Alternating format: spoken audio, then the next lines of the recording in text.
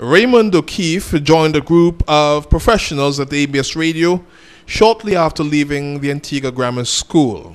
In a corner of the newsroom at ABS Radio, he started his career as a journalist, eventually becoming a well known and respected personality, bringing major sporting developments both on radio and television.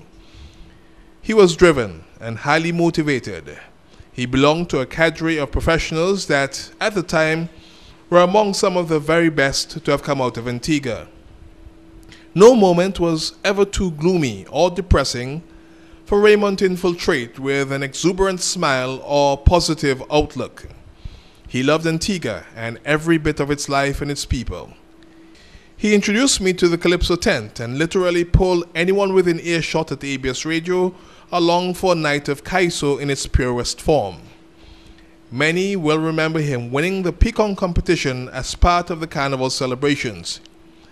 He carried the title proudly, and it earned him a hall name when he attended the University of the West Indies, where I joined him as a proud member of Chancellor Hall. Not many knew that he penned a few calypsos, but humility suppressed any urging to seek praise or limelight for literary skill.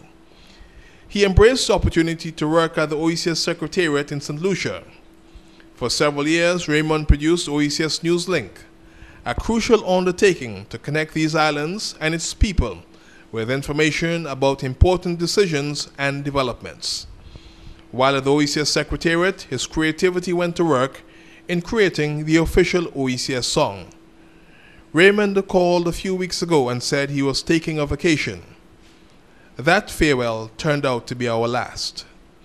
While alive, he impacted many by the way he led his life. An indelible mark has been left that will touch so many more. To you, my friend and fraternal brother, well done and farewell.